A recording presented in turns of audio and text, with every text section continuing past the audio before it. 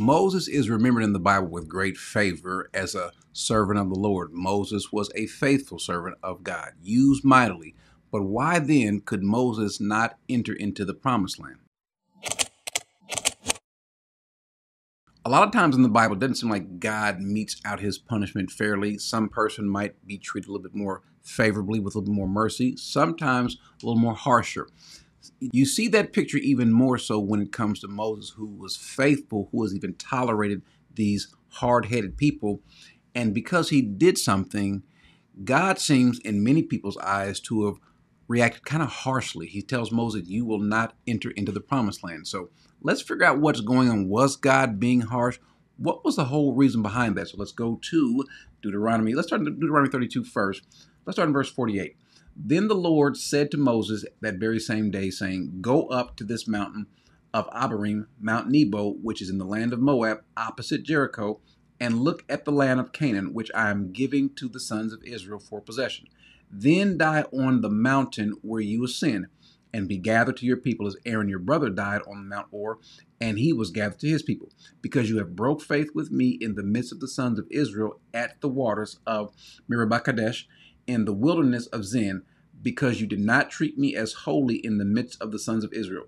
For you shall see the land at a distance, but you shall not go there into the land which I am giving to the sons of Israel. Which is interesting because the sons of Israel, the children of Israel, the original group that came out of Egypt that Moses brought them out of, they didn't they didn't come out. Why? Because of their lack of faith and because of their their idolatry, and so they didn't see the promised land. You would have thought though that Moses God's entrusted servant would have seen the promised land. He's bringing them out, but he did not make it as well. Is that a bit harsh, the treatment that God gives him? Let's go and see what actually happened. In Numbers 20, let's start in verse, start in verse 6. Then Moses and Aaron came in from the presence of the assembly to the doorway of the tent of meeting and fell on their faces. Then the glory of the Lord appeared to them, and the Lord spoke to Moses, saying, Take the rod and you and your brother Aaron assemble the congregation and speak to the rock before their eyes, that it may yield its water. You shall thus bring forth water for them out of the rock, and let the congregation and their beast drink. So, see what God is telling Moses to do. Now Moses is getting ready to do it. So Moses took the rod from before the Lord, just as he had commanded him. And Moses and Aaron gathered the assembly before the rock, and he said to them, Listen now, you rebels. Shall we bring forth water for you out of this rock? Then Moses lifted up his hand and struck the rock twice with his rod, and the water came forth abundantly, and the congregation and their beasts drank. But the Lord said to Moses and Aaron, Because you have not believed me to treat me as holy in the sight of the sons of Israel, therefore you shall not bring this assembly into the land which I have given them. Those those were the waters of Meribah, because the sons of Israel contended with the Lord, and he proved himself holy among them. Wait a second. Why, God, is Moses not allowed to go in? This can be a bit confusing. Was it that Moses struck the rock twice? Was he angry? What was the issue? And even still, whatever it was, why so harsh for treatment? Why does he, who's been clearly a servant of yours, not get to go in where there are people who are not as godly, who are not as faithful, who is not as devoted, as Moses, they get to go in. Well, first of all, the promise that God made to Abraham and to Isaac and Jacob was not so that Moses would go in. The promise was that Abraham's descendants would go in. This was the land that God promised that Abraham's descendant would get in. So it's not so much about Moses or any one person. That part needs to be understood. And oh, by the way, we're going to find out though that Moses's ministry is not over just yet. But we'll come back to that in a little bit. We got to figure out why in the world would God do this to Moses? Well, is it because he struck the rock twice? Maybe not. Maybe because he struck the rock to begin with. Let's go back to the passage. God told him, let's go to verse 8. He said, Take the rod, and you and your brother Aaron assemble the congregation and speak to the rock before their eyes, that it may yield water. So God says, just speak to the rock. God is going to bring forth water. Now, by the way, this is not a natural occurrence. Whether you speak to the rock or whether you strike a rock, we do that, water's not coming out. But God says, speak to the rock. He did not tell Moses to strike the rock, but what did Moses do? Moses goes and he strike the rock. He strikes it what? Twice. And he strikes it twice. Now, was there some attitude, some anger, what have you? That could also be an issue as well. But notice something that Moses says. He says in verse 10, he says, Listen now, you rebels, shall we bring forth water for you out of this rock? Moses, where is this we coming from? There is no we. This is God who is going to do this. And so maybe Moses was being a little too presumptuous. Maybe Moses was getting a little too big for his britches. Who knows?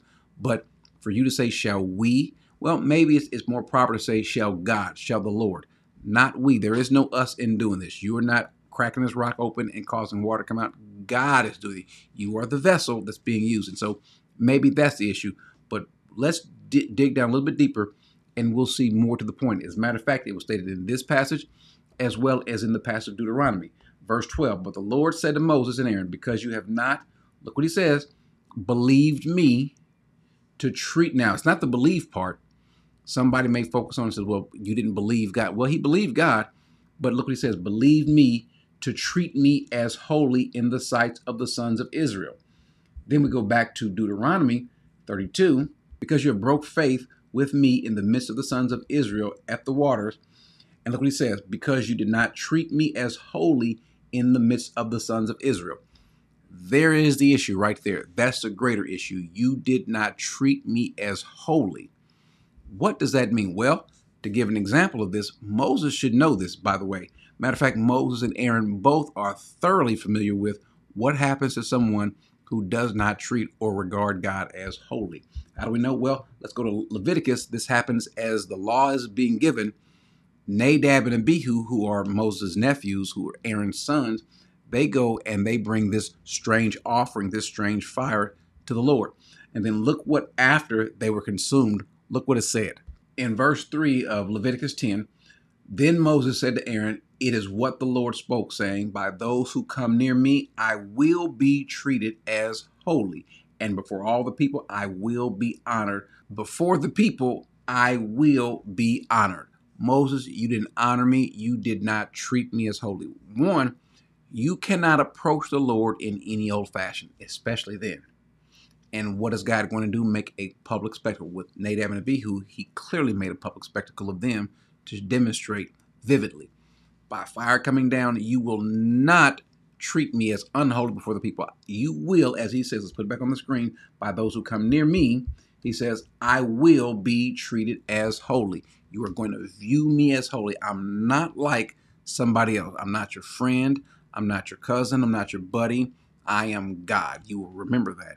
If you don't remember that, then I will remind you. You will treat me, regard me as holy, and before all the people, I will be honored.